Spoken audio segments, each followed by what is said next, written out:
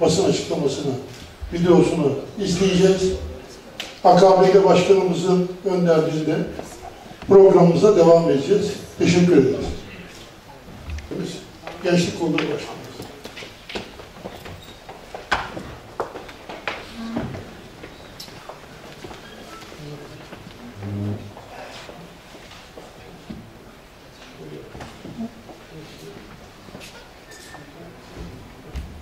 Sayın Doktor Mikail Kaba kürsüye davet ediyorum. Buyur başkanım.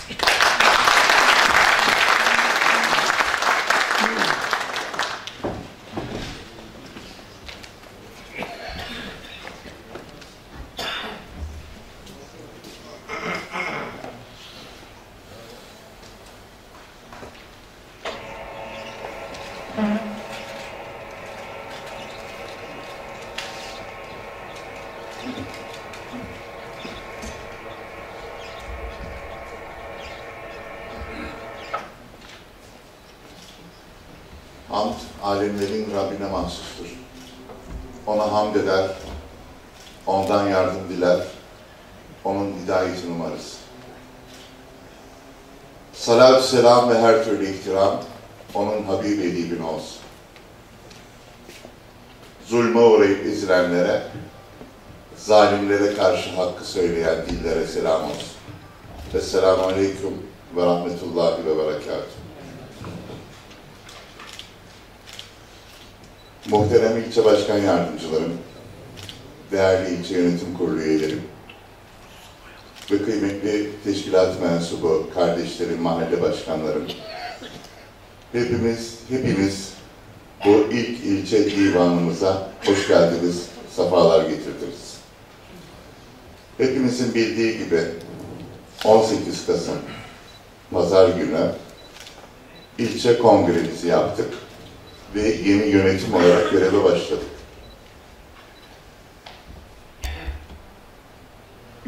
O gün kongrede yaptığım konuşmada da söylediğim gibi bu davada her toplantının ayrı bir değeri vardır. Bu değer alınan kararlar ne olursa olsun bizzat toplantının kendisinden kaynaklanır. Zira bizim toplantılarımızda dünyalık olanın konuşulduğu, çıkar hesaplarının yapıldığı hiç kimse tarafından görülmemiştir. Bizim milli görüş hareketi olarak isimlendirdiğimiz bizim inancımızın ve hayata bakışımızın çerçevesini çizen milli görüş, tevhid ve adalet duygusuna dayanan, hakkı üstün tutan, nefis terbiyesini esas alan, ahirette hesap verileceğine inanarak hareket eden görüşün adıdır. Bizim için ilimden maksat ameldir. Dünyadan maksat ahirettir. Ve bizim için siyasetten maksat bütün insanlığın dünya ve ahiret saadetidir. İşte bu sorumlulukla, bu bilinçle bugün içerisinde bulunduğumuz şartlarda bir varlık mücadelesi veriyoruz. Sorumluluğumuzu yeniden kuşanmak mecburiyetindeyiz. Elbette hiçbirimiz ideallerimizden, yolumuzdan, davamızdan, sevdamızdan vazgeçecek değiliz. Maddi gücümüz ve imkanlarımız sınırlı olsa da bizim sevdamız, bizim davamız dünyaya sığmayacak kadar büyüktür. Esasen biz kendimizi ahirete taşıyacak bir mücadele ortaya koymaya çalışıyoruz. Ve bu noktada ben de varım diyen herkesi harekete geçireceğiz. Kutuplaşmaya, ayrımcılığa, ötekileştirmeye son vermek için herkesi harekete geçireceğiz. Siyasi ve iktisadi sömürüye dur demek için herkesi harekete geçireceğiz. Ahlaki yozlaşmaya ve kültür emperyalizmine karşı durmak için herkesi harekete geçireceğiz. Haksızlık ve adaletsizliğe, hukukun keyfileştirilmesine son vermek için herkes harekete geçireceğiz. Rüşvete ve adam kayırmacılığa son vermek, kamu ihalelerinin zadeganlara peşkeş çekilmesine dur demek, zümre saltanatına son vermek için herkes harekete geçireceğiz. Bu ülkeyi tek bir partiye ve o tek bir partiyi tek bir insana mahkum eden, ortak aklı ortadan kaldıran anlayışa son vermek için herkes harekete geçireceğiz. Kimden gelirse gelsin ve kimi hedef alırsa alsın, zulmün her türlüsüne karşı durmak için herkes harekete geçireceğiz. 16 yılda 14 defa eğitim sisteminin değiştiği bu ülkede eğitimsizlik ve cehalete karşı aydınlık bir ülke inşa etmek için herkesi harekete geçireceğiz. İthal tohum yasasıyla bu ülkenin tarımını bile İsrail'e mahkum eden anlayışa son vermek için herkesi harekete geçireceğiz. Bağdat'a ilk bomba düştüğü gün bütçeye girecek 8,5 milyar doların hesabıyla başlayan iktidarda geride bıraktıkları 16 yıllık iktidarları süresince BOP sınırları içerisinde 12 milyon 800 bin insanın ölümüne ya da yerinden yurdundan sökülüp atılmasına sebep olanlara stratejik ortaklık yapanlara karşı tam bağımsız bir Türkiye demek için herkes harekete geçireceğiz. Erbakan hocamın yeniden büyük Türkiye, yeni bir dünya idealini gerçekleştirmek için herkes harekete geçireceğiz. Ve Zeytinburnu'ndan başlayarak kapitalizmin kentlerinin nesne konumuna getirdiği insanı kendi medeniyet tasavvurumuzun şehir anlayışıyla yeniden özne konumuna yükseltmek için herkesi harekete geçireceğiz. Birazdan il başkanımız Abdullah Sevim Bey salonumuzda iştirak edecek. Ben sözü fazla uzatacak değilim. Bu arada divanın rutin işleyişi ve raporlamaları yapmak için de sözlerimi burada sonlandırırken hepimize tekrar bu ilk ilçe divanımıza hoş geldiniz diyor. Hepinizi hürmet ve muhabbetlerimle selamlıyorum. Geceniz hayır olsun.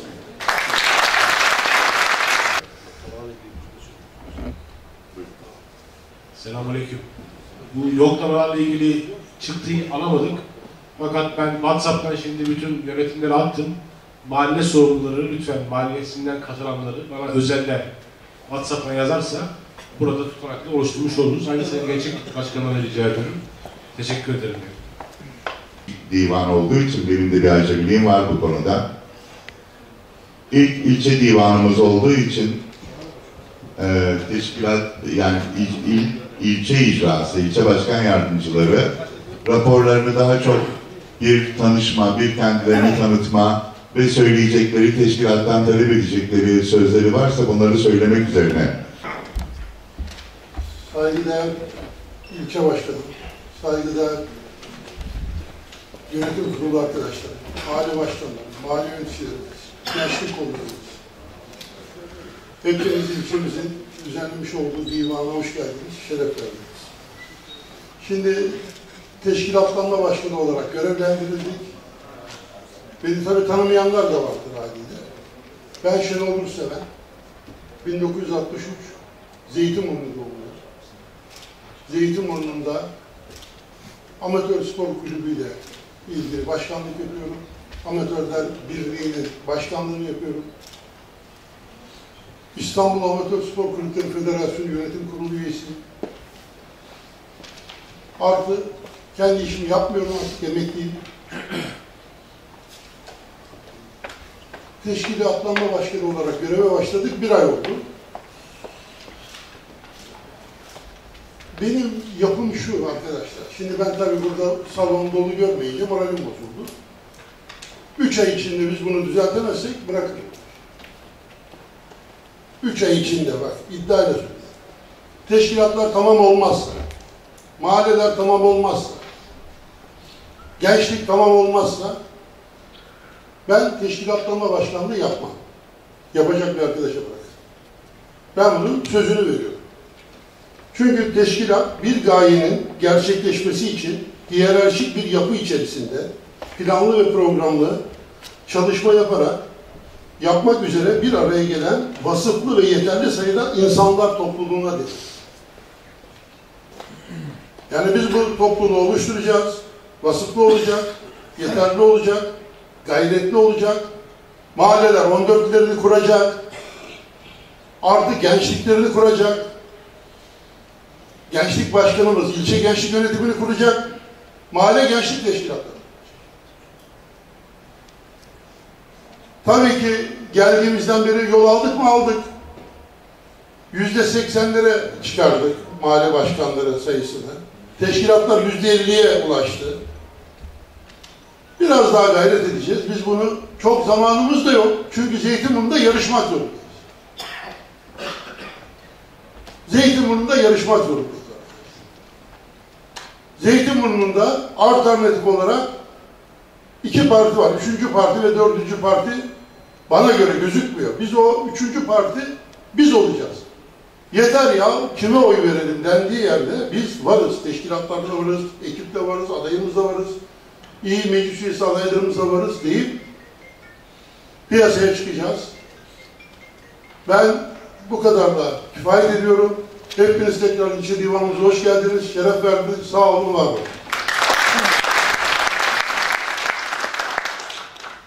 Evet, müsaade ederseniz önce divanda oturan kardeşlerimizle tamamlayalım. Ee, ilçe sekreterimiz Levent kardeş, Levent Çotuk Bey, buyurun.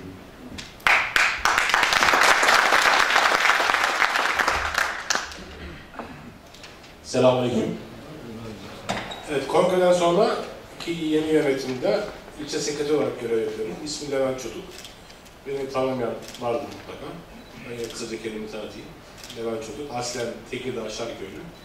Doğum yeri İsviçre 1973. Yaşım ortaya çıktı başkanım.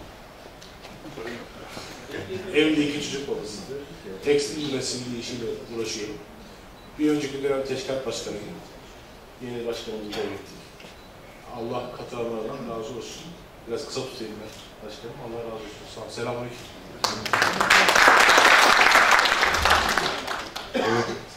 Ee, Gençlik Kolları Başkanımız, sevgili kardeşim Sinan Akbulut, buyurun. Esselamu Aleyküm. Sayın İlçe Başkanım, değerli yönetim kurulu üyeleri, muhterem divan.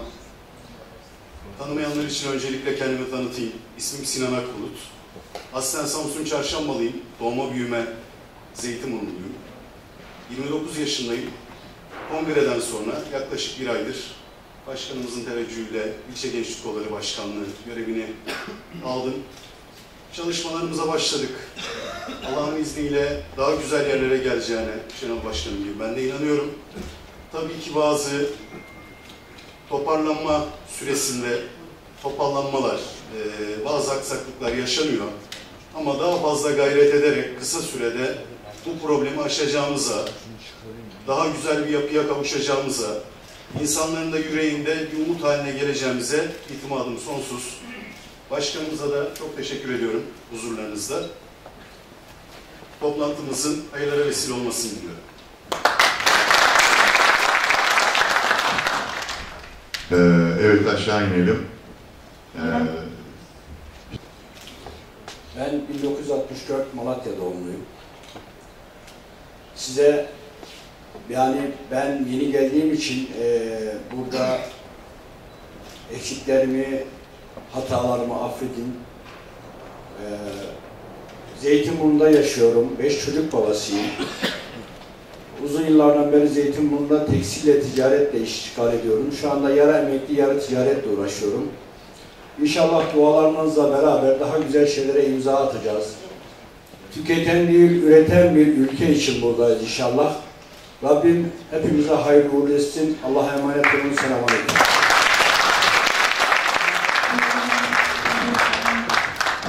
ilk başkanımız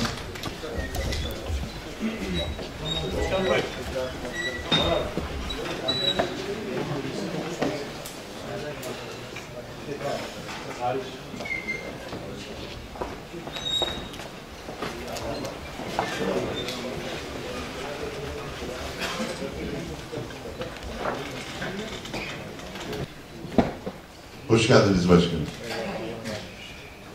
Ee, Biz ilk divanımız olduğu için daha çok teşkilatla ilçe başkan yardımcılarımızın tanıması, tanışması şeklinde söyleyeceği, teşkilata ileteceği notları, mesajları varsa onları da teşkilata iletmelerini rica ediyoruz. Müsaadenizle bir kaldığımız yerden devam Sayın Divan, kıymetli il başkanım, değerli hazırım. Öncelikle Allah'ın selamı, rahmeti ve bereketi hepimizin üzerine olsun. İsmim Erdoğan Güner, 1967, Zeytinburnu doğumluyum, Aslan Giresunluyum. Evliyim. Yapacak çok işimiz var. Birlik beraberliğimiz daim olmasını diliyorum. Hepinize saygılar sunuyorum. Teşekkür ederim. Evet, e, Mali İşler Başkanımız İsmail Demirciler abi. Buyurun.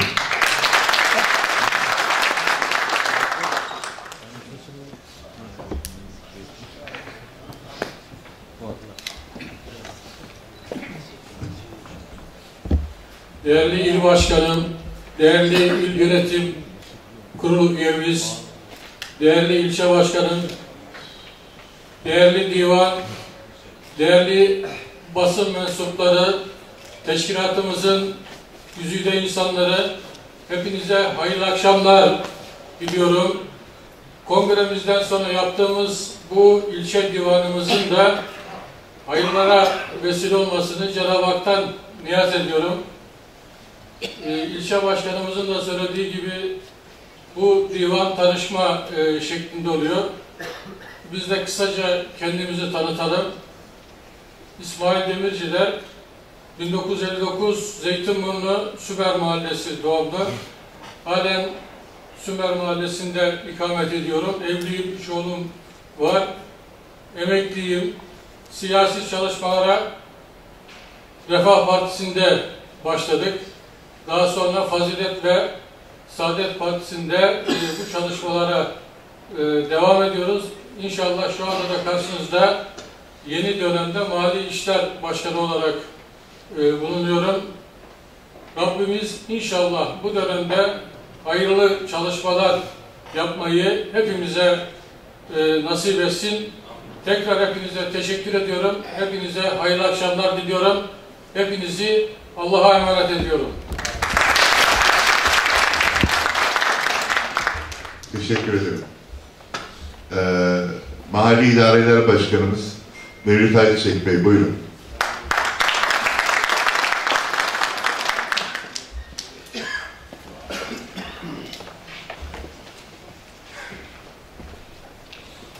Selamünaleyküm. Kıymetli İl Başkanım, Sayın Divan, kıymetli hazırım. İsmim Mevlüt Ayçiçek, 1970 Kars Merkez doğumluyum. Evli üç çocuk babası, iki torun dedesiyim. Allah'a emanet olun, hayır olsun diyorum.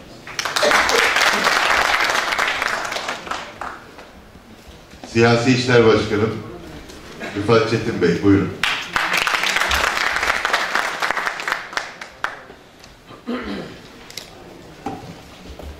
İl Başkanım, Sayın İlçe Başkanım, Divan, ilçemizin çok güzide ayrıcalıkları Hazur'un delegelerimiz, mahalle istişareti, arkadaşlarım. Ben Rıfat Çetin. 1967 Kastamonu doğumluyum. Evli ve dört çocuk, bir torun sahibiyim. Elektrik, taahhüt ve mimarlık işleriyle iştigal ediyorum. Yeni dönemde başkanımın biraz önce çizmiş olduğu hedeflere çok hızlı koşmak adına sizlerin kullanımı için yeni ilçe binamız hazırlandı ve bu hazırlıklarla birlikte sizin de çok hızlı bir şekilde burada burada çok bereketli çalışmalarınız olması temennisiyle hepinize saygı ve sevgiler sunuyorum.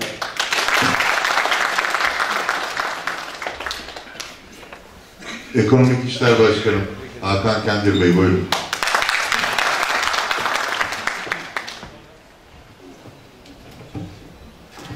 Selamünaleyküm. Kıymetli hazırın, Hakan Kender, 1986 Zeytinburnu doğumluyum. Aslen Sivaslı bir babanın üçüncü çocuğuyum. Zeytinburnu'nda doğduk, Zeytinburnu'da yaşıyoruz. Mali müşavirim, özel bir firmada yönetici olarak çalışmaktayım. Teşekkür ediyorum. Biz de teşekkür ediyoruz. Eğitim Başkanım Muhammed Hanifi Çolak Bey buyurun.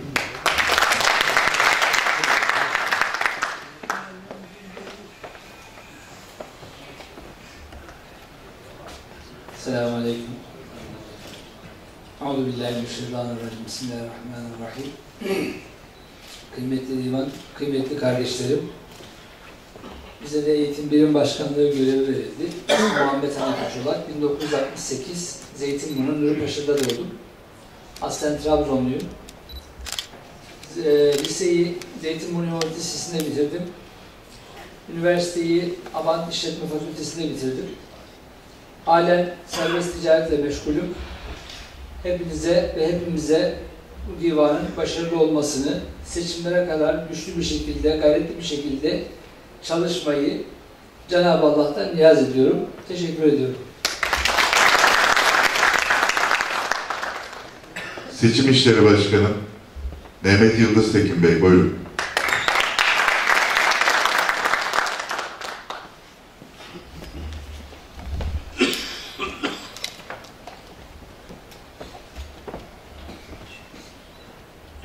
Selamünaleyküm. Ben Mehmet Yıldız Tekin, Şanlıurfalıyım. 1965 Şanlıurfa doğumluyum. 1988'den bu yıla kadar Yüksek Seçim Kurulu personeli olarak çalıştım. Eylül sonunda Zeytinburnu ilçe seçim müdürü olarak görevime son verdim. Emekli oldum ve aramıza katıldım. Katılmaktan da mutluyum. İnşallah hep birlikte daha güzel, daha iyi bir çalışmalara, hedeflere yol alırız. Teşekkür ederim.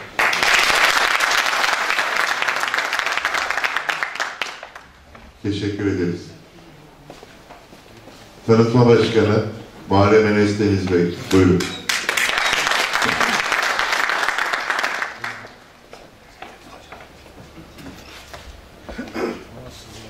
Selamünaleyküm. Enes Deniz. Ee, yine tanımayanlar vardır. Özel iş adamları derneğinde reklam ve tanıtım işlerini takip ediyorum. Şu an bu icranın en genç üyesiyim Sinan kardeşimle birlikte. Bu görevi bize layık gördükleri için teşekkür ediyoruz. Ağır bir görev. Ağır sorumlulukları var. Ben mali teşkilatlarımızda tanıtmayla alakalı birimlerin oluşturmalarını istiyorum. Çünkü benim görevim ağır. Sizlerden destek alacağım ki görevi yapabileyim. Başka bir şey demiyorum. Selamünaleyküm.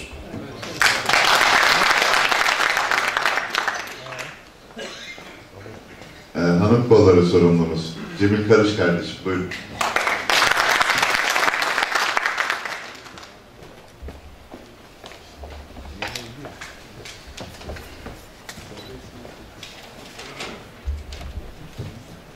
Selamünaleyküm. Kıymetli il başkanım, kıymetli divan, kıymetli teşkilat mensuplarımız, divanımızın hayırlı ve olmasını temenni ediyorum. Ee, ben Cemil Karış, 1973 Trabzon Çaykara doğumluyum. 1992 Adapazarı İmam mezunu, 2010 İlahiyat Ön Lisans mezunuyum. Ee, uzun yıllar marketçilik sektöründe çalıştıktan sonra şimdi kapalı çarşıda takı sektöründeyiz. Ee, yeni dönemde kongremizden sonra kadın kolları sorumluluğu bize tevdi edildi ve bu görevi en iyi şekilde yapmaya gayret gösteriyoruz. Ee, tekrar divanımız hayırlı vesile olsun.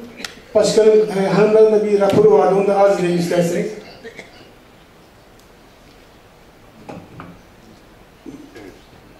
Mahallelerde e, kadın kolları ilçe yönetimimiz 8 kişiden müteşekkildir.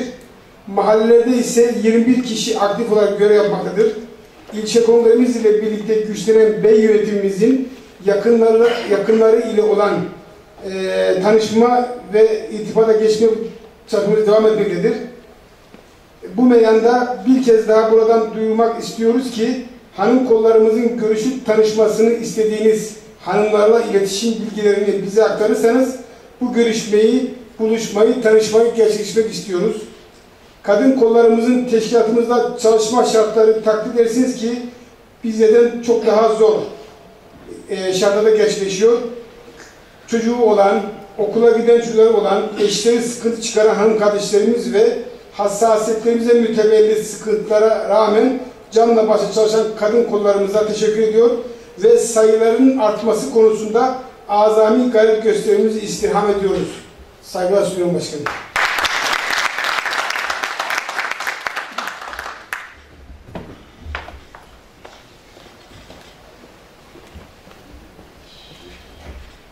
Ve ilçemizin gençliğinin başkanı, AGD başkanımız Taceddin Özer Bey. Buyurun.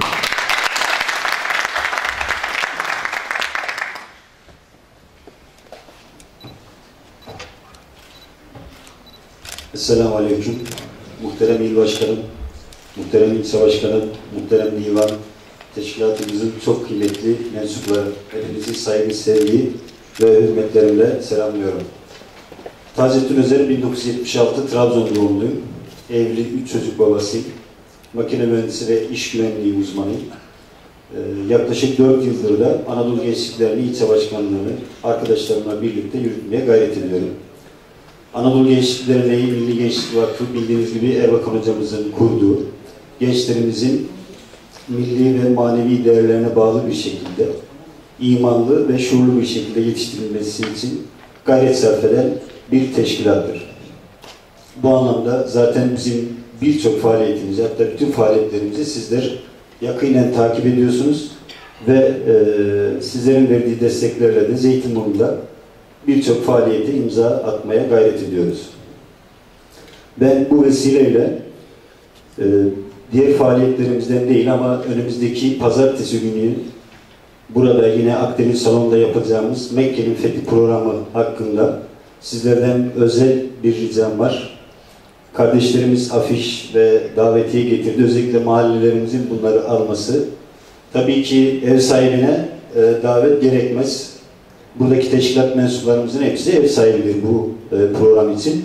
Ancak eşimiz, dostumuz, arkadaşlarımızı mutlaka bu programa inşallah yönlendirelim. 31 Aralık Pazartesi saat 19.30'da Akdeniz Salonu'nda inşallah çok güzel bir Mekke'nin fethi şölenini gerçekleştireceğiz. Azami bir şekilde buraya gayret rica ediyoruz. Ve e, Teşkilat Başkanımızın az önce çizdiği olumsuz bir tablo var ama o konuda ben şunu söylemek istiyorum. Bu salonun e, görüntüsü hakikaten bence şu anda muhteşem. Ben inanıyorum ki bu yönetim öyle bir çalışma yapacak ki 31 Mart'a kadar siyasi rakiplerine bir Nisan şakası yaşatacaktır. Allah'a emanet olun. Esselamu Aleyküm.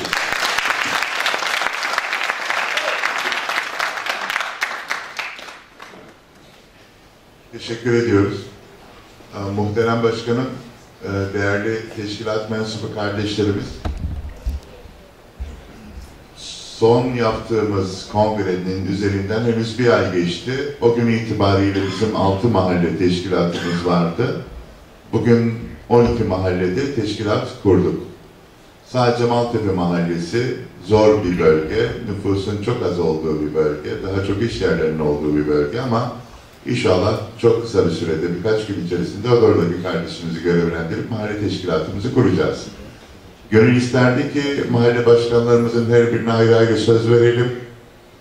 Onlar da raporlarını sunsunlar, teşkilatla tanışsınlar ama sözün sahibini daha fazla geciktirmek için, geciktirmemek için ben sadece üç mahalle başkanımıza kürsüye davet etmek ve onlardan e, rapor almak istiyorum. Öncelikle teşekkür ediyorum gayretlerinden dolayı sevgili kardeşim Yılmaz Trabzon Seyit Nizam Mahalle Başkanımız. Buyurun efendim.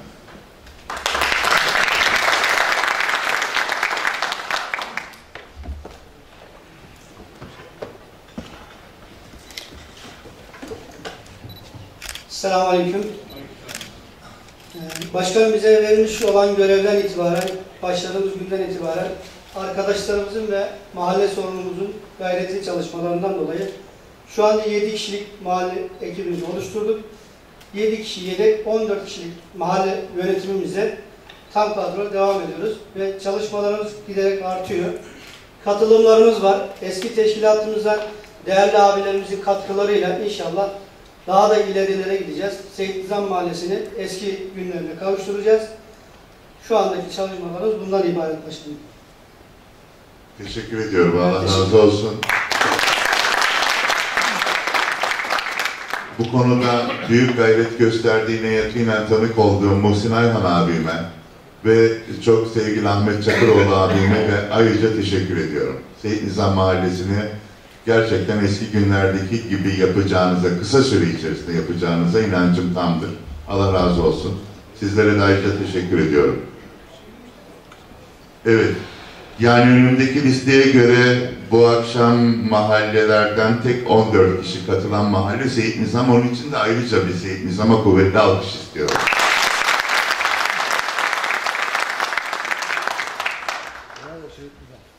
Veli Efendi Mahalle Başkanı Mehmet Sevimli Bey buyurun.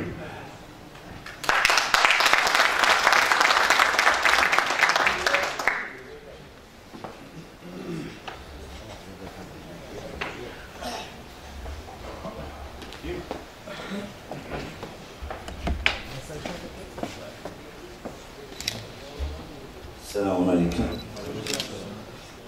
Sayın Başkanım, e, toplantı, toplantımızın hayırlara vesile olmasını diliyorum. E, yıllardan beri bu teşkilatın içinde görev yapan bir kişi olarak e, son zamanlardaki toplantılara bayağı bir katılım fazlalaşma oldu. Zannedersem çok daha iyi olacağını umut ediyorum ve inanıyorum. Belefendi Mahallesi olarak toplantılarımızı düzenli olarak yapıyoruz. Bu akşam biraz bize zayiat oldu. Hasta arkadaşımız var, ameliyat olacak olan falan. Ee, çalışanlarımız var tabii ki.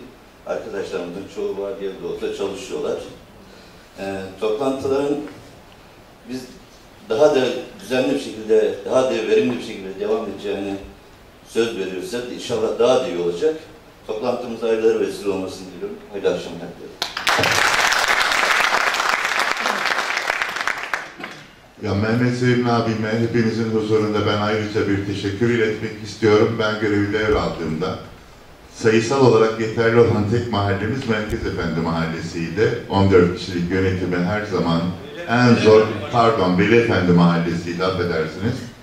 Ee, 14 kişilik yönetimini en zor şartlar altında her zaman bir arada tutmayı başardığı için ve teşkilatta hiçbir zaman sayısal olarak bir yetersizlik, zafiyet göstermediği için kendisine ayrıca teşekkür ediyorum. Allah razı olsun. Ee, son olarak Merkez Efendi Mahalle Başkanı Mustafa Bulut Bey buyurun.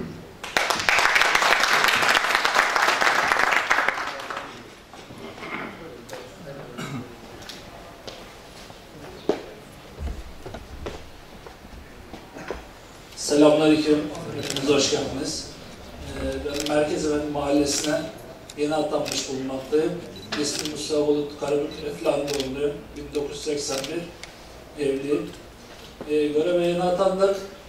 Ee, şu an mahallemizde 14 kişinin 7'si sabit olarak toplantılara katılıyor. Ee, geri kalan da bu akşam izinli olarak 4 kişi izin aldı.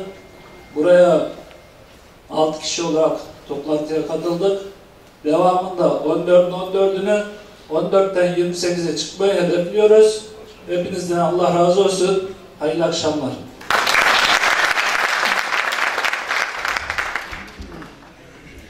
Evet ben de inanıyorum ki inşallah kısa süre içerisinde Zeytinburnu'nun 13 mahallesinde de 14 kişilik yönetimler oluşmakla kalmayacak. Ee, kısa zamanda bütün sandıklarımızın baş müşahitleri, müşahitleri de tamamlanmış olacak inşallah. Hepinize gayretli çalışmalarınızdan dolayı teşekkür ediyorum. Allah hepimizden razı olsun.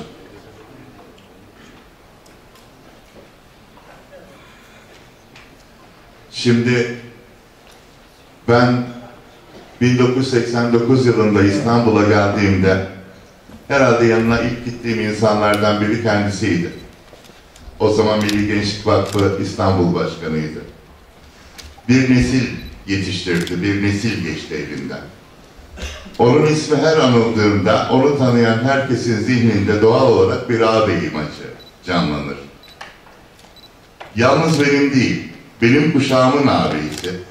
Sevgili il başkanım, değerli ağabeyim Abdullah Selim Bey aramızda. Ben sözü uzatmadan sözü ona tevdi etmek istiyorum. Buyurun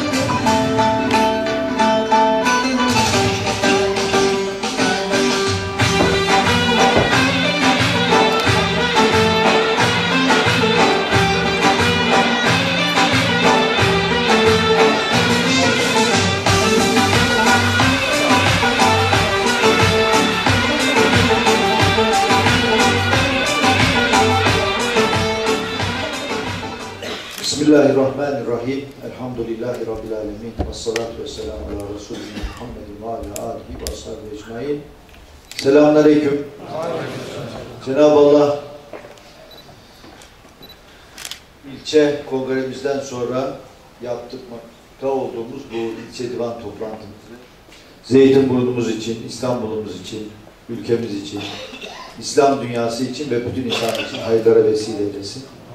Allah hepinizden razı olsun.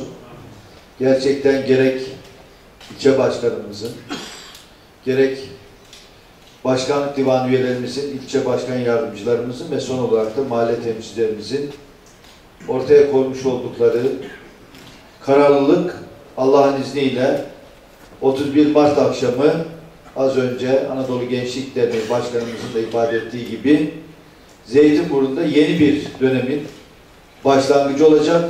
Ve Allah'ın izniyle 31 Mart akşamı inşallah Zeytinburnu Belediye Başkanı milli görüşü bir kardeşimiz olacak inşallah. Ben bu divan toplantısının bu hayra da vesile olmasını Cenab-ı Allah'tan niyaz ediyorum. Değerli kardeşlerim, ülkemizin içinde bulunduğu şartları, İslam dünyasının içinde bulunduğu şartları ve dünyanın içinde bulunduğu şartları hepimiz çok yakinen takip ediyoruz. Gerçekten bütün dünyada bir bunalım var. Bir taraftan insanlar açlıkla, hastalıkla boğuşurken diğer tarafta obeziteden tedavi olmak için sıraya giren insanların yaşadığı bir dünyada yaşıyoruz. Maalesef. Bilhassa İslam dünyası açısından ülkelerimiz işgal edilmiş durumda. Ya fiilen işgal edilmiş durumda ya da kültür emperyalizmi vasıtasıyla işgal edilmiş durumda.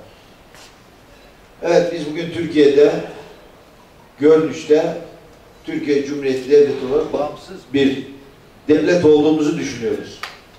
Ama işin aslına baktığımızda hiç de bu işin böyle olmadığını hepimiz biliyoruz.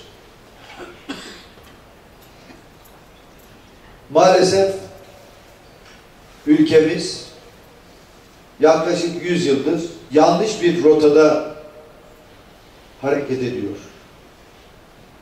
Bizim istikametimiz üzerinde bulunmamız gereken ray Dünya İslam Birliği olması gerekirken maalesef uzun yıllardır bir batılılaşma, bir çağdaşlaşma fantazileriyle bir arada yaşıyoruz.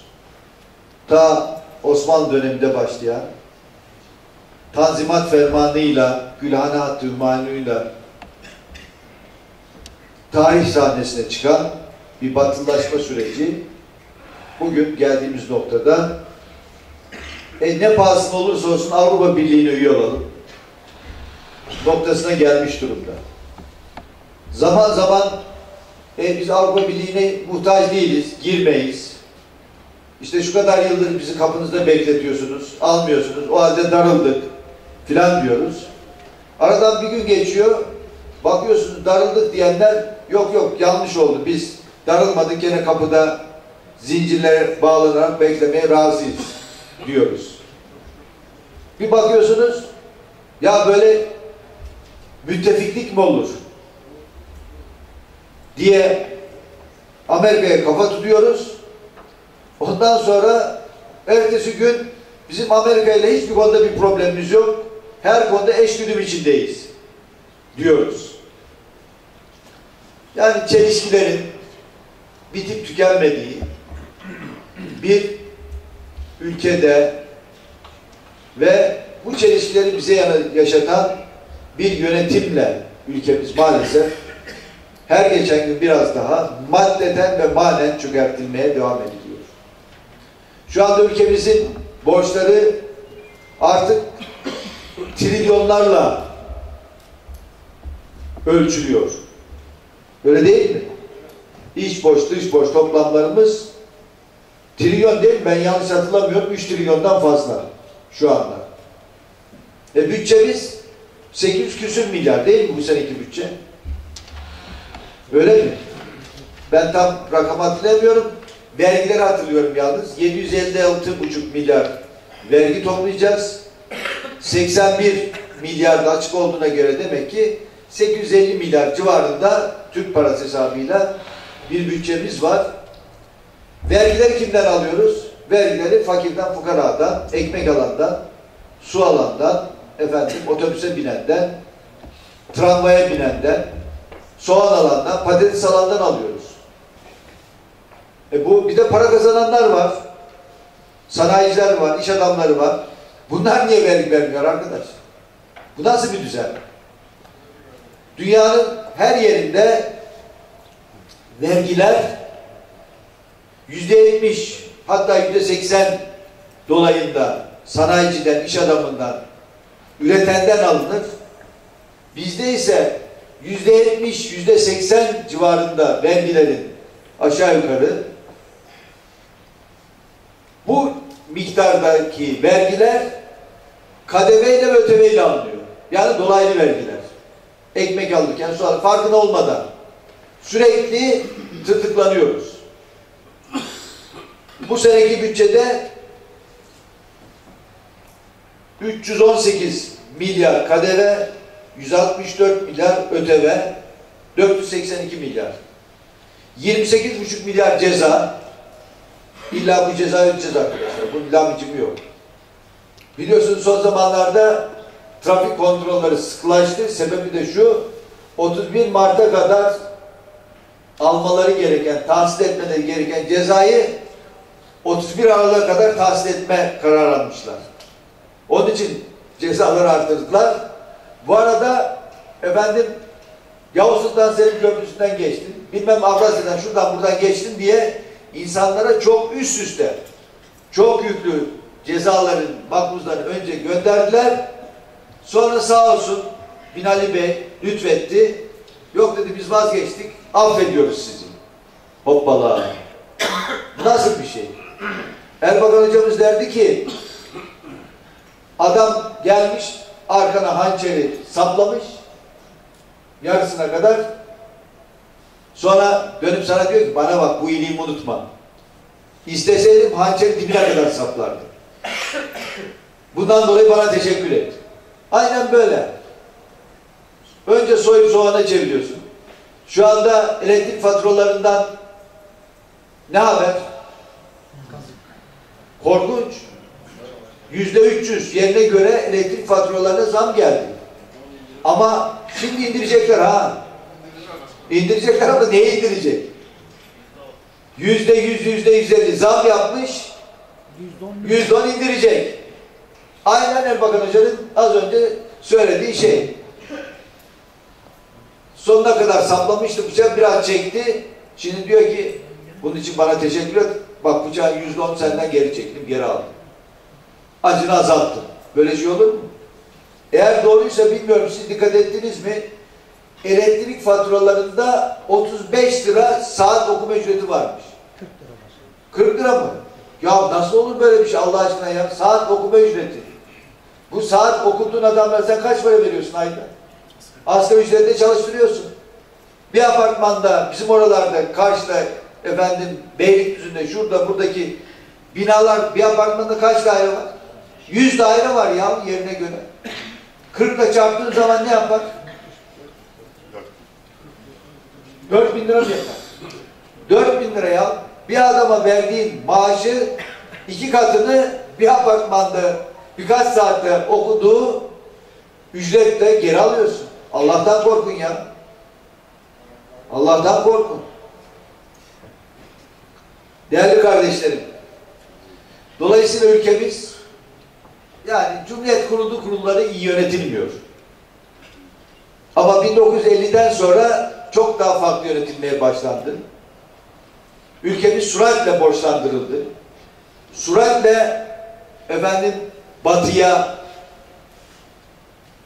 açıldı, açık hale getirildi. Batının değerlerine, kültürüne, efendim adetlerine, örfüne hızla adapte olmamız, uyum sağlamamız gerçekleşti ve bugün geldiğimiz noktada artık kendimizi tanımakta zorluk çekiyoruz. Bu arada sağ olsun AKP'miz başörtü sorununu çözdü. Ama kızlarımızın baş kapandı da başka yerler açıldı bu sefer. Yani önemli olan baştaki örtü değil ki, önemli olan gönüldeki örtü. Edep kalmadı, haya kalmadı. Bunlar bizim çocuklarımız, bizim kızlarımız, bizim torunlarımız. Çok hızlı bir dünyevileşme süreci yaşıyoruz. Yani özümüzden, değerlerimizden her geçen gün biraz daha koparılıyoruz. Her geçen gün aile müessesesi biraz daha zayıflatılıyor. Kadınlara pozitif ayrımcılık. Adı altında çıkarılan kanuni düzenlemelerle, KHK'larla o hale getirildi ki adeta her bir eve bir saatli bomba kondu. Bu saatli bombanın pimi de evin hanımın elinde. Şimdi bir koca karısına sert baksa veya onun hoşuna gitmeyecek bir cümle sarf etse kadın karakola devam etse kocam bana böyle yaptı dese polis geliyor alıyor götürüyor 3 ay 6 ay mahkeme kararıyla evin çevresine 300 metre uğrayamıyorsunuz. Daha vahimi evli nikahlı hanımıyla bir insan hanımının istememesine rağmen beraber olmaya kalksa ha sokakta yabancı bir kadına tecavüz etmiş ha kendi kadın, hanımıyla aynı şeyi yapmış. Şikayet ederse tecavüzcü olarak hapse atılıyorsunuz. Ya böyle şey olur mu? Sema Maraşlı diye bir hanımefendi mutlaka okumuşsunuzdur. Şeyler, makalelerini. Son olarak Cumhurbaşkanı'na ikinci bir mektup yazdı, açık bir mektup yazdı. Allah ondan razı olsun. Yani durum hakikaten bilgimizin, zannettiğimizin çok ötesinde vahim. Yani bu son yıllarda üst üste meydana gelen aile cinayetleri, karısını öldüren, kurşunlayan, bıçaklayan kocaların niçin bunu yapıyor? Neden önceden böyle bir şeyler yoktu? Şimdi böyle bir şey var derseniz sebebi bu pozitif ayrımcılık adı altında yaptıkları düzenlemeler. Böyle şey olur mu?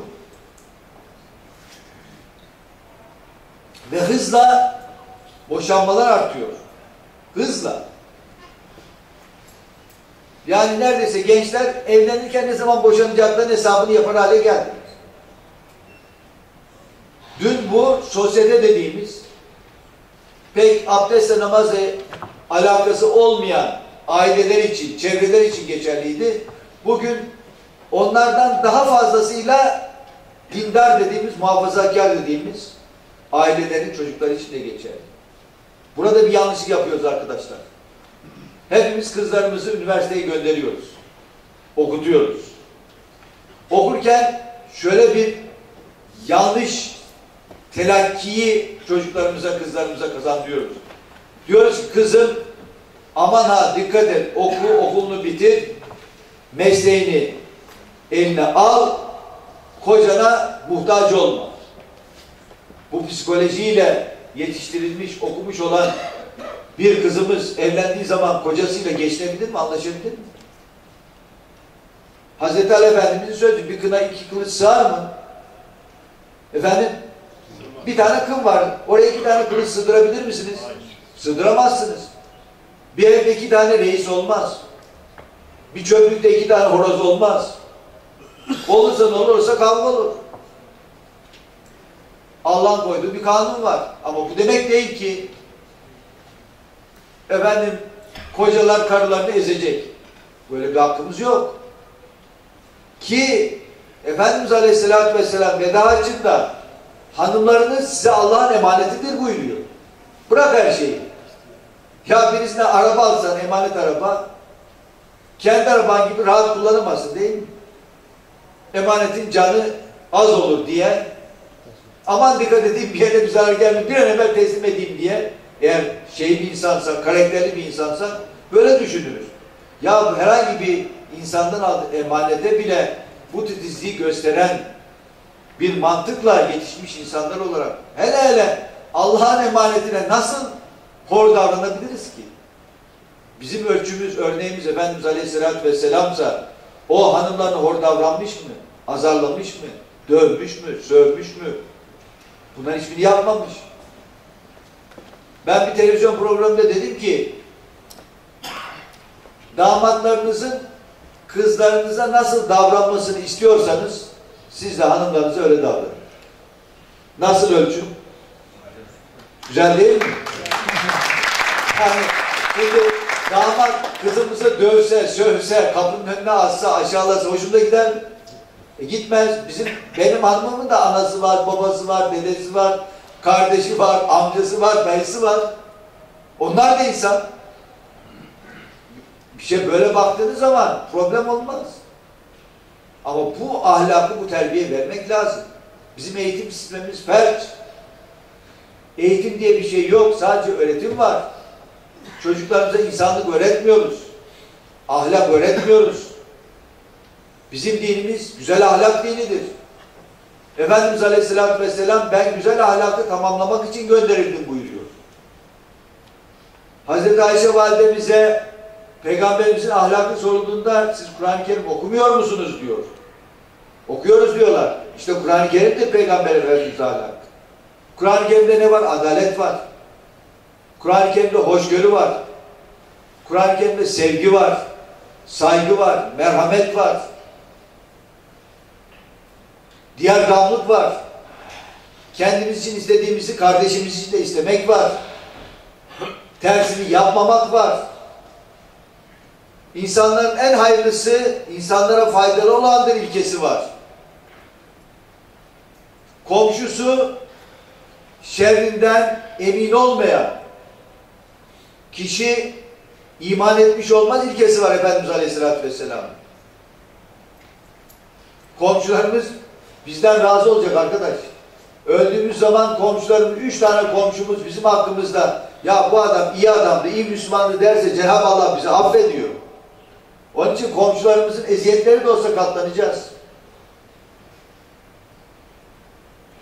Yani bu olmadıktan sonra mimar olmuşsun, mühendis olmuşsun, doktor olmuşsun, başbakan olmuşsun, cumhurbaşkanı olmuşsun, belediye başkanı. Neye yarar arkadaş ya?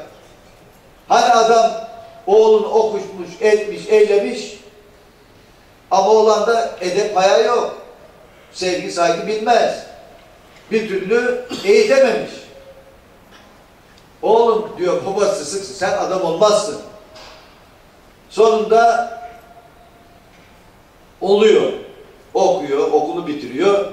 Diyelim ki vali oluyor. Bulunduğu şehre. Kaymakam oluyor bulunduğu ilçeye. Koltuğa oturunca polisleri göndermiş babasını makamına çarpmış. Koltuğuna oturmuş. Baba sen bana diyordun ya adam olmazsın diye. Bak vali oldum, kaymakam oldum deyince oğlum ben sana vali olamazsın demedim, kaymakam olamazsın demedim, adam olamazsın dedim. Sen eğer adam olsaydın polis gönderip beni zorla buraya getirtmeyecektin. Kendin gelip benim elimi öpüp benim duamı alacaktın. Şimdi böyle evlat var mı? Kaldı mı? Her geçen gün bunların sayısı azalıyor. Niye? Eğitim diye bir şey yok ki. Biz çocuklarımızı okullarda iki kere kaç eder bunu öğretiyoruz. Ya niye iki, iki, iki kere iki kaç eder bunu öğretmiyoruz. Sadece iki kere iki dört öttiğini öğretiyoruz. Niye ben iki kere iki dört öttiğini bilmek zorundayım? Niye Fatiha'yı okumak, bilmek, ezberlemek zorundayım? Niye namaz kılmak zorundayım? İşin ruhu yok. Boş, fizik öğretiyoruz. Fiziğin ruhunu öğretmiyoruz. Tarih okuyoruz, tarihin ruhunu öğretmiyoruz. Ve yılda 125 gün çocuklarımız okula gidiyor, 240 gün tatil yapıyoruz biz yılda arkadaşlar. Allah'tan korksunlar ya. İnsan ömrü en büyük sermayesi insanın değil mi? Bugünkü sistemle 12 senede biten eğitim hayatını benim dediğim sistemle 4 senede bitirirsiniz. 12 senede öğrettiğinizi 4 senede öğretirsiniz. Ama iş oyalama taktiği üzerinde. Diyelim ki 18 yaşında üniversiteyi bitirdi bir genç. E ne olacak? İş isteyecek. İşsiz sayısı artacak. İşsiz sayısını arttırmamak için efendim insanları bir şeyle meşgul etmek için sistem kurulmuş, oyalıyor. Tatille oyalıyor. Sözde çok okutmakla oyalıyor. Halbuki bunlara gerek yok. Yani nereden baksanız gerçekten ülkemiz her geçen gün biraz daha açmazın, çıkmazın, her konuda açmaza çıkmaza biraz daha yaklaşan, felakete doğru sürüklenen bir ülke haline geldik. Dış politikada tamamen sınıfta kaldık. Yola çıkarken sıfır, efendim problem, sıfır düşmanla çıktık.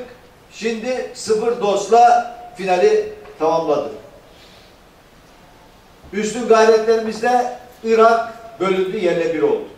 Irak'ta düzen kalmadı. Efendim Suriye tamamen harap edildi. Libya var mı yoktu tarikadan silindi.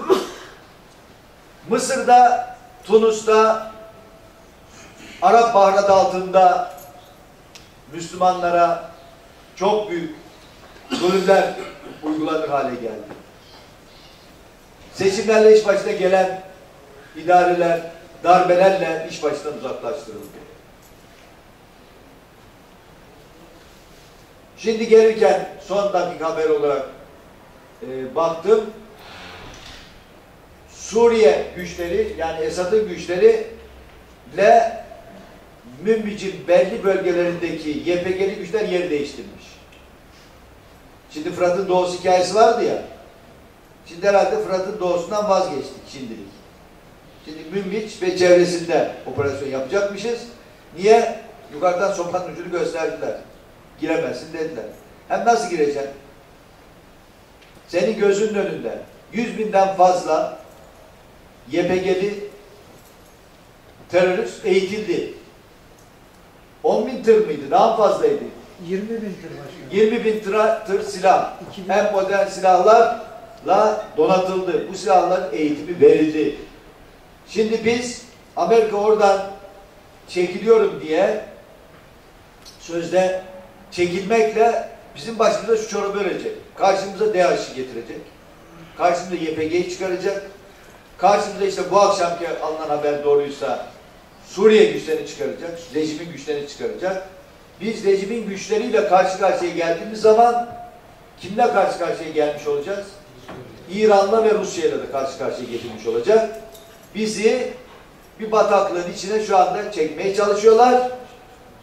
E, Sayın Cumhurbaşkanımıza da oy lazım. 31 Mart'ta seçimler var. Ne pahasına olursa olsun bu seçimleri kazanması lazım. Bunun için Nero'nun Roma'yı yaktığı gibi gerekirse yani Türkiye'de yakabilir. Hiç önemli değil. Önemli olan 31 Mart akşamı AKP'nin seçimleri kazanması. Başka bir dert yok. Dolayısıyla Şu anda gerçekten bu anlamda Türkiye ciddi bir tehlikeyle karşı karşıya. Bu arada İstanbul Sanayi Odası'nın bir dergisini bugün göndermişler. Orada sanayicilerle yapılan söyleşiler var.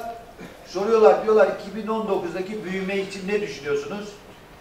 Sanayicilerin kanaati, bu işin içinde olan insanlar, eksi bir ile artı bir arasında değişebilir diyorlar. Ya eksi bir, ya geriye gideriz ya da en fazla artı bir olur Türkiye'nin 2019 yılındaki büyümesi.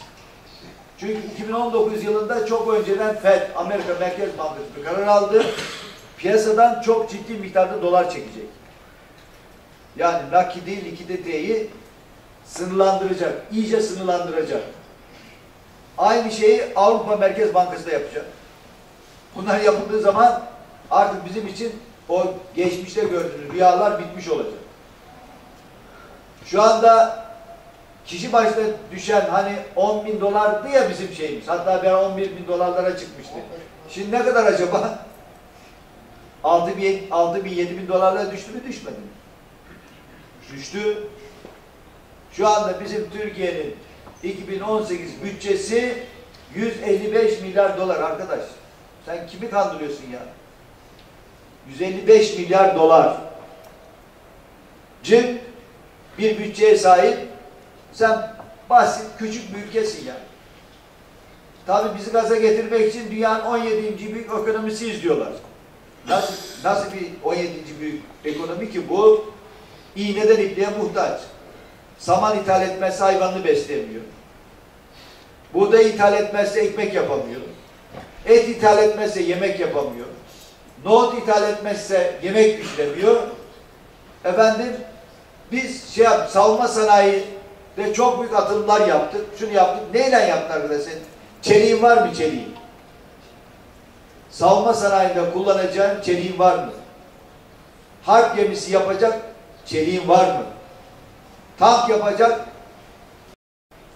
keşke olsa ama konuşurken savunma sanayinde yüzde yetmiş yerlilik oranına ulaştık. Ya yaptığın şey savunma sanayiyle ilgili ürettiğin malzemeler ne yapıyorsan orada kullandığın bütün malzemeleri ithal ediyorsun sen. Yüzde yetmişini. İthal ediyorsun. O malzemeleri alamazsan, o ham maddeyi alamazsan onu yapamazsın. Bunu kendin yapmadıkça, bu malzemeye kendin sahip olmadıkça bağımsızlıktan bahseder. Bugün verir gavur yarın vermez. İşine gelmediği zaman. Nitekim 74'teki Kıbrıs Harbi esnasında biz muhaberat sistemimiz kesildi. Çünkü tesislerimizin parçasını Amerika vermedi. Kendi gemimizi batırdık biliyorsunuz. Dolayısıyla yani nereden baksanız artık her geçen gün biraz daha ülkemizin sıkıntılı bir süreç yaşadığı bir dönemde 31 Mart bir inşallah ülkemizin insanın nefes alması için bir fırsat, bir vesile olur diye düşünüyoruz. Bu nasıl olacak? Bu yeniden Saadet Partimizin milli görüşün tek temsilcisi olan Saadet Partimizin 31 Mart'ta 1994 seçimlerinde olduğu gibi yerel yönetim seçimlerinde belediyeleri kazanmasıyla olacak. Allah'ın izniyle inşallah iktidar açısından 89 1989 nasıl ANAP kendini en fazla güçlü hissettiği ve en fazla gururlu olduğu bir seçimde yerle bir olduysa yani bunu niye böyle söylüyoruz? Niye bunu istiyoruz? Niye bunu talep ediyoruz? Keşke bunlar bu işleri iyi yapsalar da bu ülke adam gibi yönetseler de böyle bir temennide bulunma zaruretini biz hissetmesek. Keşke. Yani bizim derdimiz bu ülke illa biz yönetelim değil. Ama bu ülke illa adam gibi yönetilsin. Rüşvetin olmadığı, hırsızlığın olmadığı, yolsuzluğun olmadığı, adam kayırmacılığın olmadığı, 1 liraya yapılacak işin 1000 liraya yapılmadığı bir yönetim istiyoruz. Başka bir şey değil. Tüyü bitmemiş yetimin hakkının yenilmemesini istiyoruz. Derdimiz bu.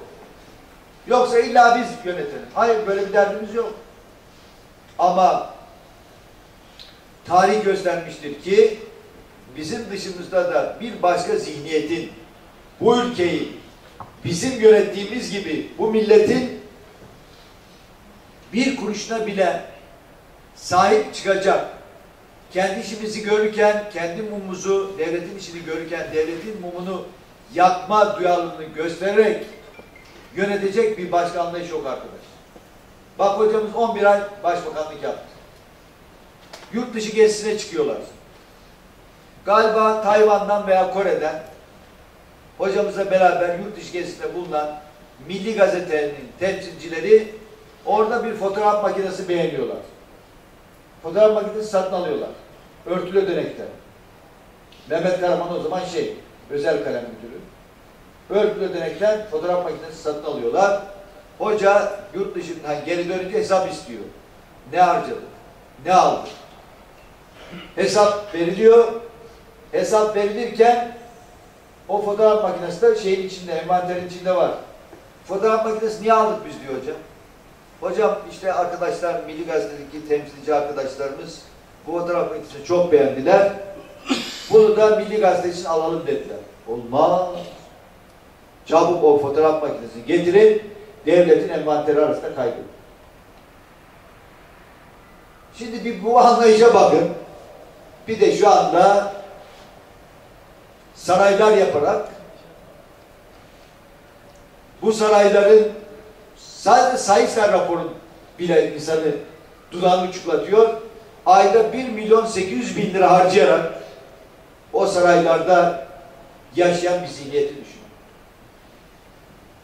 Arkadaşlar White House diye bir şey var değil mi? Bir ev var. White House ne? Beyaz ev. Amerika devlet başkanı konu konu konutu değil mi? İdari merkez. Amerika devlet başkanı Beyaz Saray'dan değil dünyayı, Beyaz Ev'den yönetiyor arkadaşlar. White House ne demek? İngilizce bilenimiz var. Beyaz Ev demek değil mi? Beyaz Ev'den yönetiyor. Trump'ın Amerika'yı ve dünyayı parmağında oynattığı ofisin metrekaresi 400 metrekare arkadaşlar. Trump'ın itibardan tasarruf olmaz diye bir derdi yok. İtibarın sarayla olmadığını biliyor. Biz de belki 500 yıl Topkapı Sarayı'ndan devleti yönettik. Topkapı Sarayı dediğimiz şey gidip görenleriniz mutlaka vardır. Gitmeyenler mutlaka gitsin. Saray dediği şey gece kondulardan ibaret. Tek katlı. Efendim 30 metrekare, 40 metrekare salonlar ve sedirler. Gittiniz gördünüz değil mi? Divan var, divan. Yani başbakanlık efendim bakanlar kurulu toplantısının yapıldığı divan var. Kaç metrekare divan? 50 metrekare yok arkadaş ya. Oradan yönetirken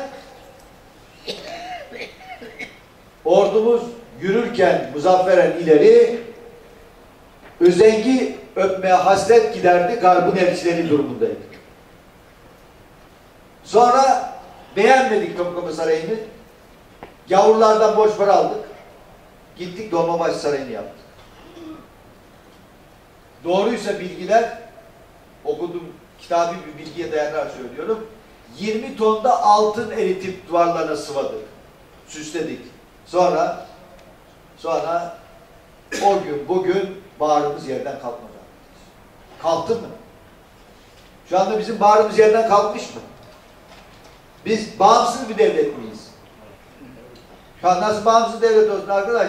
Rusya banayı kapattığı an bu ışıklar söner. Kaloriferler susar. Fabrikalar durur. Hangi bağımsızdan bahsediyorsun? Ukrayna'dan buğday alamazsan ekmek yapamazsın. Hangi bağımsızdan bahsediyorsun? Bilmem Fransa'dan et ithal etmezsen yemek pişiremezsin. Hangi bağımsızlıktan bahsediyorsun? Allah'tan kork ya. Dünyanın en pahalı uçağına biniyor şu anda Sayın Cumhurbaşkanımız. Trump'ın altında bile öyle bir uçak yok. Kaç tane uçak var? Kaç tane var arkadaşlar? 15. 15 mi? 13, 15 konuşuluyor. Sokağa çıktığı zaman Sayın Cumhurbaşkanımız yürürken arkasında 50 tane araba yürüyor. Hepsi de birkaç milyonluk arabalar. Acayip araba. Önümüzde görmediğimiz arabaları görüyoruz. Sağ olsun. Bize hiç olmazsa onları gösteriyor. Binemesek de hiç olmazsa görüyoruz geriden. İftihar ediyoruz. Çok mutluyuz. Çünkü itibardan tasarruf olmaz. İnsanlar bakacaklar, Trump bakacak, vay anasını be. Bu Türkiye'nin Cumhurbaşkanı benim bile binemediğim şeye biniyor. Uçağa biniyor. Benim, benim bile binemediğim arabalara biniyor. Benim bile oturamadığım saraylarda oturuyor. Helal olsun ona. Değil, bizim bir alnından öpüyor, cesaret madalyası veriyorlar. Değil mi? Arkadaş dünyada kim kime durup dururken cesaret madalyası vermiş ya. Ne verdin de karşılığında sana cesaret madalyası verdiler. Ne verdin? Bizim Maliye eee ne bakanımız? Gıda, Tarım ve Hayvancılık Bakanımız Mehdeger'e de Fransa madalya verdi değil mi? Niye? E, tabii yani hayvancılığı ülkemizde e, yeter hale getirdi, fazlasını Fransa'ya şey, ihraç etti. Fransızlar da aferin bu Tarım Bakanı'na çok başarılı, ülkesine çok faydalı oldu. Bizim de et ihtiyacımız vardı. Paramızla da olsa bize et sattı. Onun için gel seni tebrik ederim, teşekkür ederim deyip alnından öptüler. Öyle mi? Efendim? Gençler öyle mi? Nasıl? Niye verdiler madalyayı? Ya adam geliyor, bütün dünya liderleri bir ülkeye gittikleri zaman oraya bir şey satarlar. Bizimkiler gittiler hep alıyorlar. Cumhurbaşkanı son olarak Fransa'ya gittiğinde kaç tane uçak siparişi verdi? Airbus'lardan 30'a yakın galiba. Yeni uçak siparişi verdi ve şu kadar tonda et siparişi vererek oradan geri geldi. Neymiş biz bağımsızmışız. Neymişiz? 17. ekonomik ekonomi ekonomik olarak 17. büyük ülkeymişiz. Bak yeni bir eğitim şeyi yapıldı. Dünyadaki eğitim kalitesi, ülkelerin eğitim kalitesi araştırması yapıldı. Türkiye en sonuncu arkadaşlar. Daha çarpıcısını söyleyeyim sana. Adamlar oturmuşlar, Kur'an-ı Kerim'i incelemişler. Kur'an-ı Kerim'deki ahlak ilkelerini incelemişler. Kim daha fazla adalete bağlı? Kim efendim daha fazla merhametli? Kim daha fazla milletini düşünüyor? Neyse Kur'an-ı Kerim'deki ahlaki ilkeler neyse hani efendim de ben güzel ahlak tamamlamak için gönderim buyuruyor ya incelemişler buna uygun kim var dünyada? Hangi ülke buna en çok uyuyor demişler. Birinci kim çıkmış biliyor musunuz? İzlanda. Finlandiya. Kim? Finlandiya. İrlanda. Finlandiya üçüncü. Finlandiya üçüncü. İkinci hatırlayan var mı? İkinci olabilir. Kanada olabilir. Galiba Kanada. Biz en sonuncuyuz. 103. de Müslüman ülkeleri, halkı Müslüman olan ülkelerden sadece Malezya 39. sırada kalmış. Yeni Zelanda mıydı? Bir Yeni Zelanda. Yeni Zelanda mı? Bir Yeni Zelanda, üç İrlanda. Üç İrlanda. Bir Yeni Zelanda, üç İrlanda. Finlandiya ikinci o zaman. Lüksemburg. İkinci. İzlanda, Finlandiya öyle gidiyor. Öyle gidiyor. Beşinci Finlandiya. Yani önemli olan onların, o yavrulardan birinin kaçıncı olduğu değil, bizim kaçıncı olduğumuz arkadaş ya. Niye? E bizim çünkü Müslümanlıkla alakamız yok ki. Adımız Müslüman. Zümrüt cüzdanımızda Müslüman yazınca bu işin kurtulduğunu sanıyorduk, seviniyorduk. Şimdi ben size yeni bir zümrüt cüzdanı göstereyim, burada hiçbir şey yazmıyor. Hiçbir şey yok bunda. Müslüman mısın, yavrum musun, Hristiyan mısın, hiç problem değil. Problem ortadan kaldırdık. Bundan sonra bu da kalmadı. Bundan sonra halimiz ne olur bilmem. Hakikaten durum vahim. Samimiyetle söylüyorum bir durum vahim ya. Böyle bir şey olmaz. Geçen gün bundan bir ay önce bizim Adem Aktaş'ı tanırsın belki sen. Adem Aktaş çiçek üreticisi ya, bitki üreticisi. Hollanda'ya sık sık gidip geliyor. Son gittiğinde birkaç gün Hollanda'da kalmış. Abi diyor, bana oradan telefon ediyor. Ya diyor şaşırdım kaldım. Saat dörtte insanlar sokakta. İşe gidiyorlar dörtte. İşe işe sabah dörtte. Altıda iş başı. Akşam oldu mu herkes evinde. Saat 10'da bütün ışıklar sönüyor evlerde. Herkes yatıyor. Çünkü saat 4'te kalkıyor. Bizim ise Türkiye'de verimli olarak çalışma hayatı ondan sonra belki başlıyor. Okullarımızda öğrencilerimiz, benim yanımda şey var, küçük torunumun gittiği şey okul var, 9'da ders var. Ya nedir bu? 9'a kadar ne yapıyorsunuz? Diyorlar ki hiçbir Yahudi çocuğun üzerine güneş doğmaz. Doğdurmazlar. Hiçbir çocuklar. İlla erken kaldırır. Ya bizim inancımızda yok mu? Rızıklar dağıtıldığı bir saat var. O saatte yatarsan uyursan rızıklar geri döner diye. Nasıl olsun? Ben şimdi kalk Erenköy'de oturuyorum. Sabah namazına gidiyorum. Bakıyorum şeylere. Canlara. Kaç tane evin ışığı yanıyor. 30 daire, 40 daire, 50 daire, 100 daire apartmanlar 3 tane, 5 tane ışık göremiyorum arkadaş ya. Bırak camiye gelmeyi. Evde kalkmıyoruz namaza. Halbuki bizim inancımız bütün hayatımızı düzenlemiş değil? Cenab-ı Allah gündüzü geçiminizi temin için, geceyi ise istirahat için yarattım buyuruyor. Biz de şimdi tersine çevirmişiz. E iş ahlakı yok. Yatmasını bilmiyoruz, kalkmasını bilmiyoruz, yemesini bilmiyoruz, uyumasını bilmiyoruz. Yani kanser patladı. Kanser, kanser, ailesinde kanser olmayan, kanserden ölmeyen. Niye? Sağlık diye bir şey yok ki. Ben her zaman söylüyorum. Yarın elime imkan geçerse, bunlar böyle devam ederse Sağlık Bakanlığı'nın adını Hastalık Bakanlığı olarak değiştirin. Niye? Bu Sağlık Bakanlığı benim sağlıklı yaşamamla ilgili en ufak bir gayreti var mı? Benim ne zaman ilgilenmeye başlıyor? Hasta olduktan sonra. Halbuki çocuk doktorlarının tabelasında ne yazardı eskiden? Şimdi var mı bilmiyorum. Çocuk sağlığı ve hastalıkları doktor, uzman. Önce sağlık, önce koruyucu hekimlik. Bunun bize anaokulundan itibaren mutlaka sağlıklı yaşama dersini konulması lazım. Nasıl sağlıklı yiyeceğiz, nasıl sağlıklı giyineceğiz, nasıl sağlıklı uyuyacağız, nasıl sağlıklı yaşayacağız. Bunu yap, şehir hastaneleri lüzum kalmaz. Bu kadar özel hastane hiç olmaz. Efendimiz Aleyhisselatü Vesselam 1400 yıl önce bunun formülünü bize öğretmiş, insanlığı öğretmiş. Ne yapacak? Hastalıkların diyor bütün kaynağı midedir diyor. Her şeyin fesadı mideden kaynaklanır. İlla midenizi dolduracaksanız üçte birini suyla doldurun. Üçte birini yemekle doldurun, üçte birini boş bırakın. Rivayet edilir ki Medine'ye doktor gelmiş. Hiç hasta yok. Kimse gelip geldi müracaat etmiyor. Efendim diyor, ben müsaadenizle buradayım çünkü benim işim yok. Bana hiç çıkmadı diyor. Şimdi ise sağlık sistemi zaten tamamen ilaç fabrikalarının tekeline geçmiş durumda. İlaç fabrikaları önce ilacı üretiyorlar.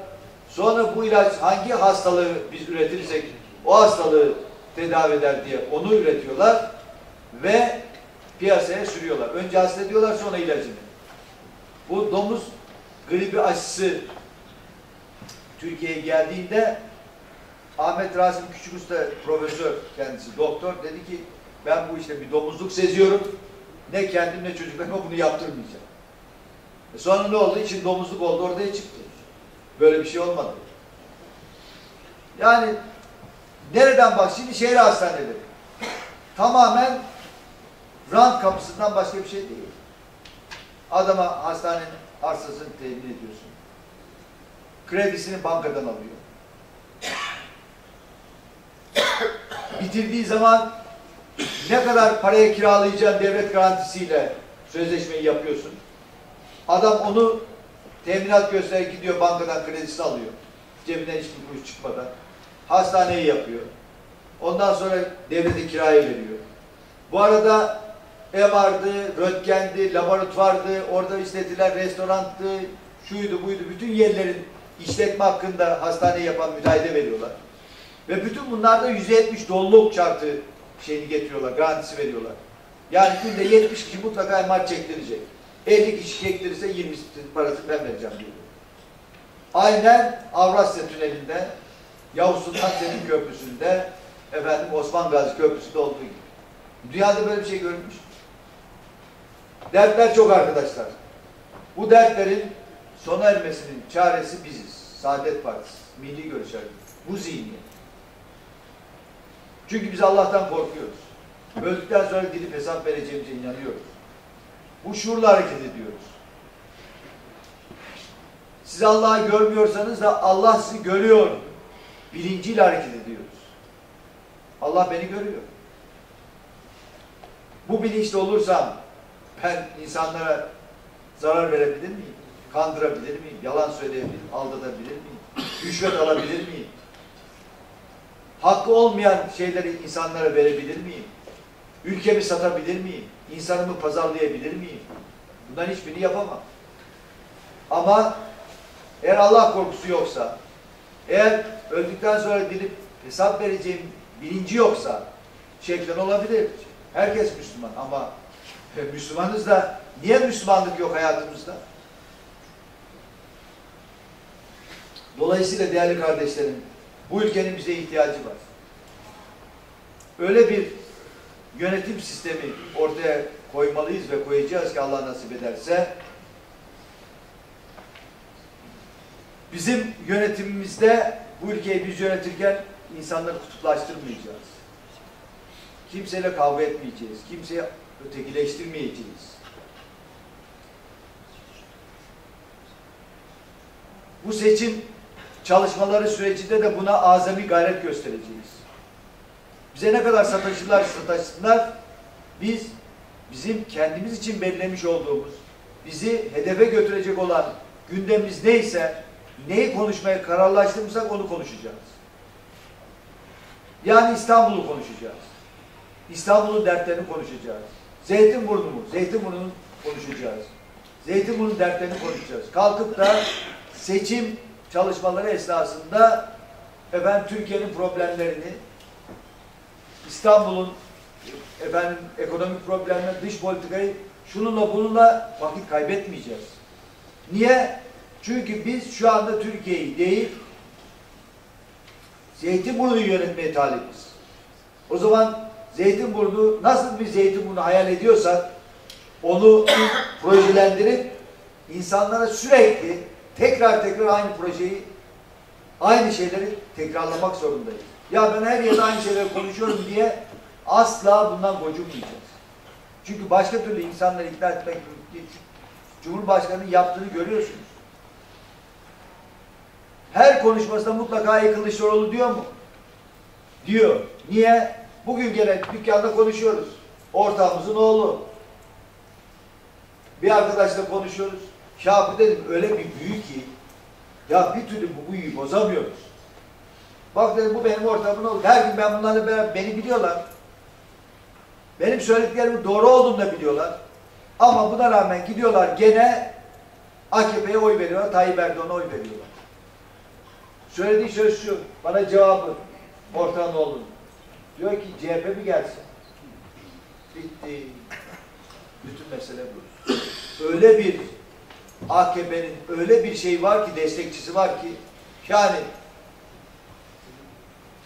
hiçbir şekilde bu kadar kendisine destek olacak başka bir yardımcı bulamaz. Gemiren de öyle derdi başkanım. Aynı, Gemiren- aynı. Gemiren de öyle derdi. Menderes CHP sayesinde. Demirel CHP sayesinde. Özal CHP sayesinde. Mevcut şahıs da CHP sayesinde bu ülkeyi yönetiyor yani. Bundan nasıl kurtulur? Dua edelim arkadaşlar.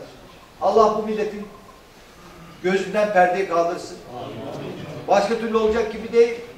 Yani işimiz sırf bu sebeple zor ha. İnanın insanlar bize oy verecekler. İnanın bizi iş başına getirecekler. Ama öyle bir algı yönetiliyor ki bütün televizyonlar elinde adamın.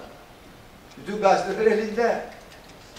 E böyle olunca yani sürekli aynı şeyleri tekrarlaya tekrarlaya tekrar insanları büyülüyor. İnsanları büyülüyor. Dolayısıyla bu oyuna gelmeyeceğiz. Temiz bir kampanya yürüteceğiz arkadaşlar. Yani gerek efendim afişlemeyle, gerek bayraklamayla, gerek çevreye olan saygımızla, gerekse dilimizle. Bel altı vuruşlar yapmayacağız. Bizim insanların şahsi hatalarıyla bir derdimiz yok. Çünkü Efendimiz Aleyhisselatü Vesselam bize bir kötülük İslam'a göre, Müslümanlığa göre kötü bir şey gördüğünüzde onu elinizle düzeltin buyuruyor. Neyi düzelteceğiz biz? Kötülüğü düzelteceğiz. Kötüyü düzeltin demiyor. İnsanı değiştirin demiyor. İnsanın yaptığı kötülüğü ortadan kaldırın. Bunu ortadan kaldırdığınız zaman zaten öbür, öbürü de düzelmiş olacak. Buna imkan bulamayacak. Dolayısıyla biz esasında AKP'lilere de iyilik yapmak istiyoruz. CHP'lilere de iyilik yapmak istiyoruz. Hepsinin iyiliğini istiyoruz.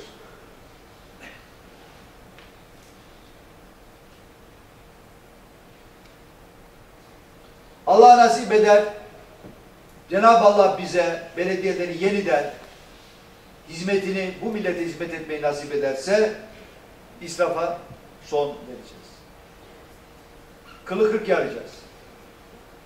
Efendim, yandaşlarımızı zengin etmek için kaldırım yeniletmeyeceğiz. İş ürettirmeyeceğiz. Bugün birçok iş belediyelerin yaptığı iş sırf yandaşları ve dolayısıyla paydaşları, paydaşlar da kendileri zengin etmek için yapılıyor arkadaşlar. Başka bir şey değil. Diyorlar doğru mu bilmiyorum. Mevlüt Uysal Büyükşehir Belediye Başkanı oldu. Yerine meclisten bir tane şey seçildi Başakşehir'den. İlk yaptığı iş kaldırımlar oldu diyorlar. Hemen kaldırım işine giriyor. Demek rantın büyük kaldırımcılıkta. Biz kaldırımcılık yapmayacağız. Diyorlar ki bakın gidin Avrupa'ya, Amerika'ya adamlar bir kaldırım yapar 100 sene dokunmazlar. Biz her yeni seçilen belediye başkanı bir e, bu şeyin Üsküdar'ın bundan önceki belediye başkanı bütün Üsküdar'ın sokaklarının kaldırımlarını yeniledi. Hepsini. İstisnası şu anda gidin Üsküdar'ın bütün sokaklarının kaldırımları aynı renktir. Aynı taş. Siyah beyaz taşlar var ya gri, beyaz taşlar. Her taraf onlardan yaptı. Güzel oldu mu? Oldu. Ama İsra oldu. Kaldırımlar vardı. Eski değildi kaldırımlar. Rengini beğenmedi başkanım. Böyle şey olur mu ya? Kimin parasını harcıyorsun arkadaş? Bu para senin babanın parası değil. Velev ki senin paran olsa bile bizim inancımıza göre istediğimiz gibi harcayabilir miyiz?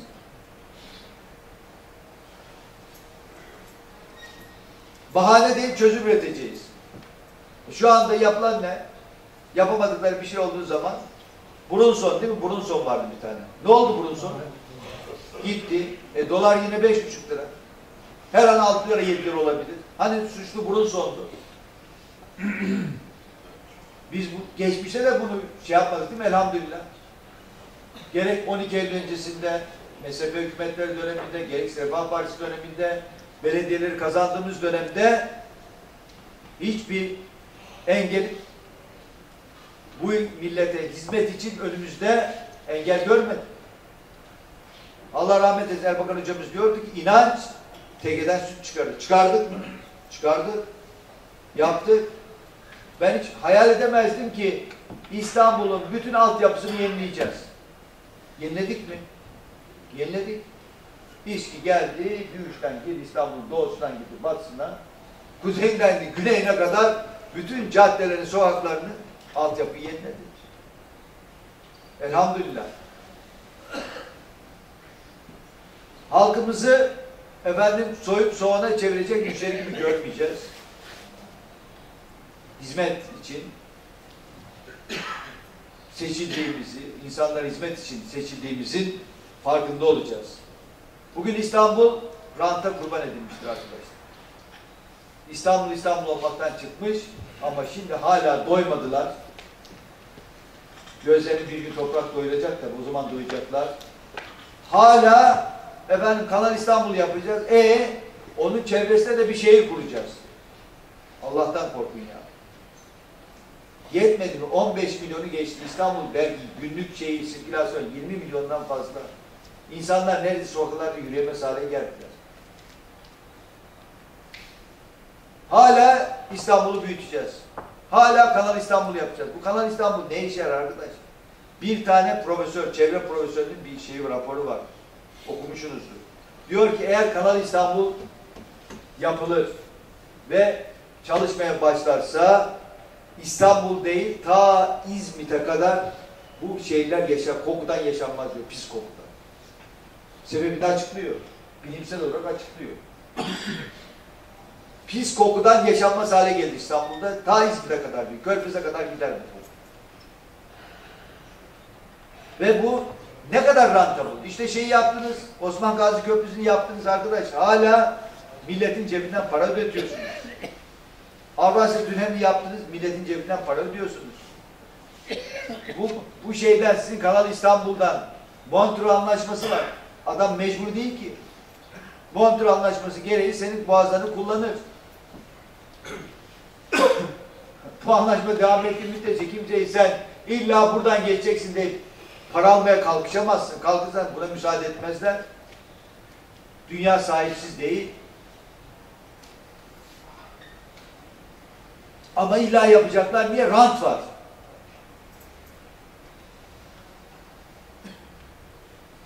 Yandaşlara değil vatandaşlara hizmet tesis alacağız. Yandaşlara değil, vatandaşlara hizmet edeceğiz. Herkes hizmet edecek. Bizim için herkes bir olacak. Annemmiş, babammış, eşimmiş, dostummuş, akrabammış. Ayrıcalık yapmayacağız.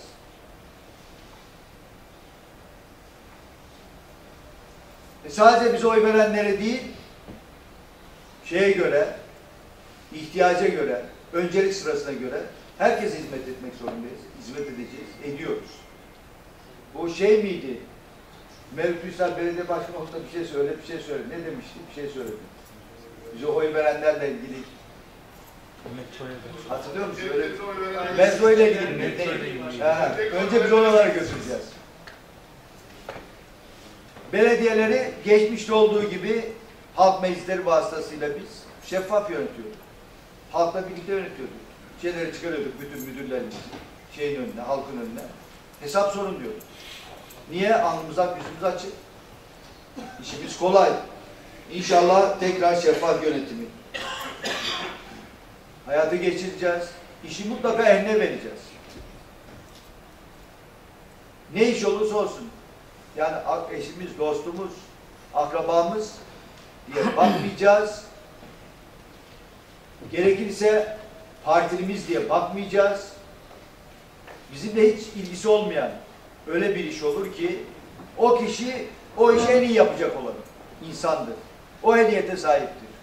Memleketin hayrı için, Zeytinburnu'nun efendim menfaati için o işi o insana vermek zorundayız.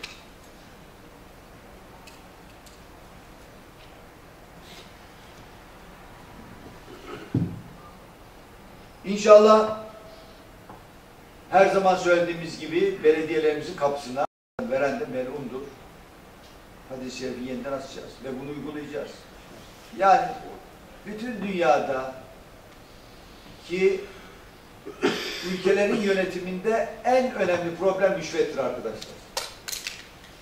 İşin içine rüşvet girdi mi o ülkede hakkaniyet ortadan kalkar. Çünkü siz eğer rüşvetle hakkınız olmayan şeyleri elde edebilirsiniz. Efendim devlete ve millete olan vecibelerinizin bir kısmını rüşvet vasıtasıyla yerine getirmeyebilirsiniz. 94'ü hatırlayın. Biz İstanbul Büyükşehir Belediyesi kazandığımız günün ertesi gününden itibaren İSKİ'nin gelirleri değişti mi değişmedi. Değişti. Niye? Çünkü önceden üstten geliyordu, alttan akıp gidiyordu. Bir kısmı toplanmıyordu. Bir kısmı efendim israf ediliyordu. Biz gelir gelmez hemen iş değişti. Çok iyi hatırlıyorum. Şeye gittik. Bu Florya'daki sosyal tesislere gittik. Belediye yeni kazanmışız.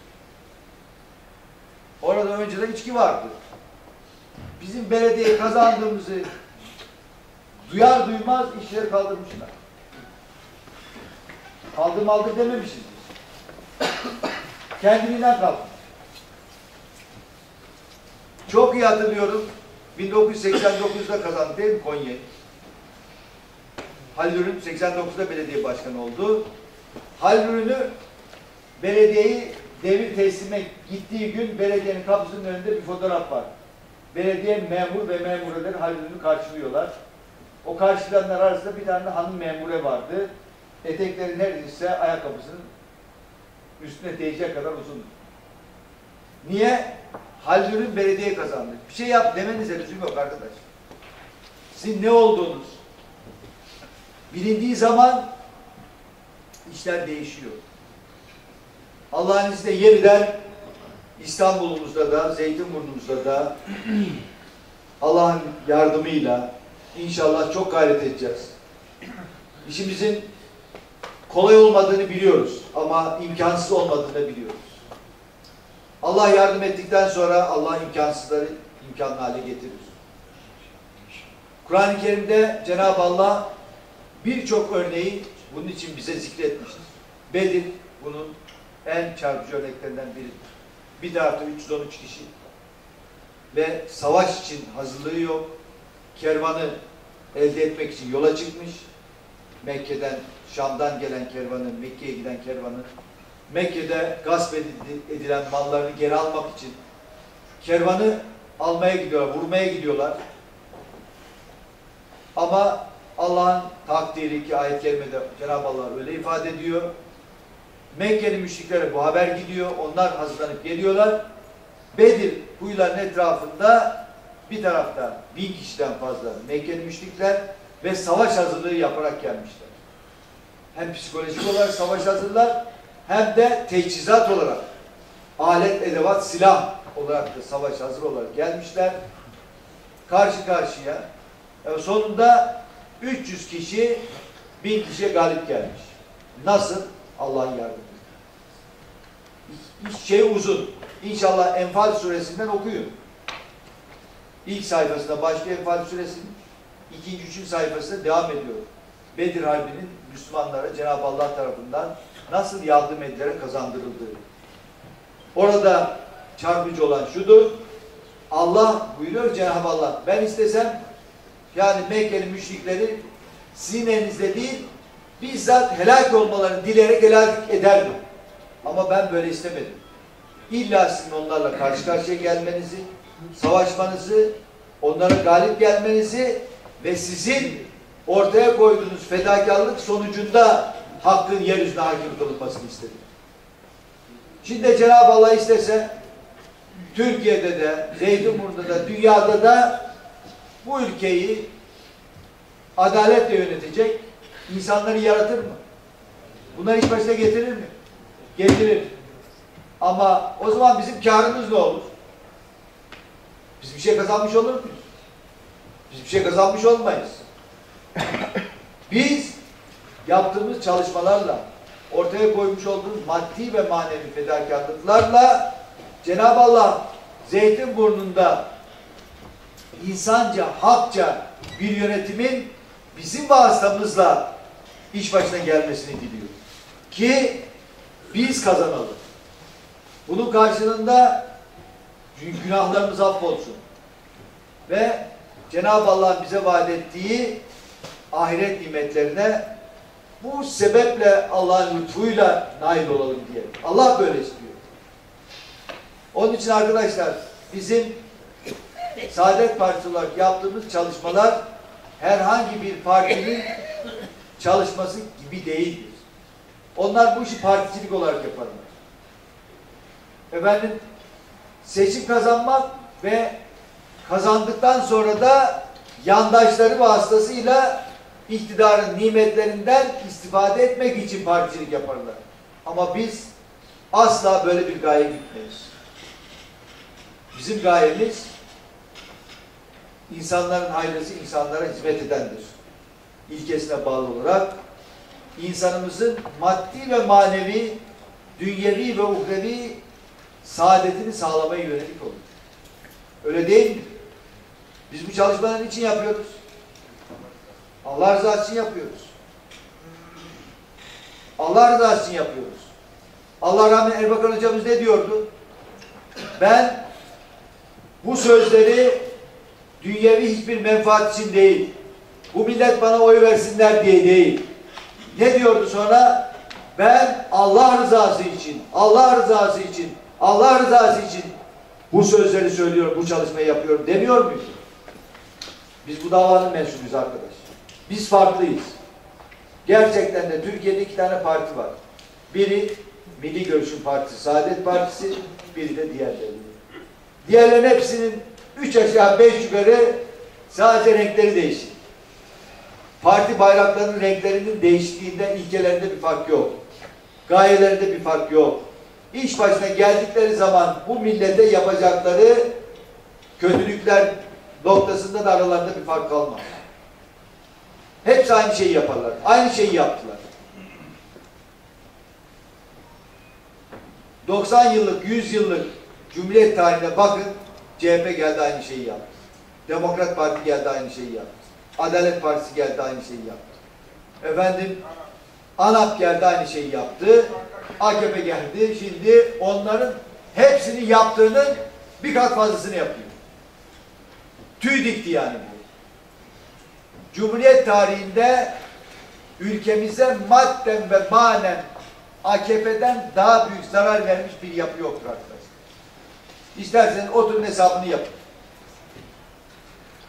30 senede CHP'nin yapamadığını, 10 senede HDP'nin şey Dem Dem Demokrat Parti'nin yapamadığını, efendim 20 senede Adalet Partisi'nin yapamadığını, 10 senede, 15 senede ANAP'ın yapamadığını, bu 16 senede bunların hepsinin toplamından fazlasını yaptı.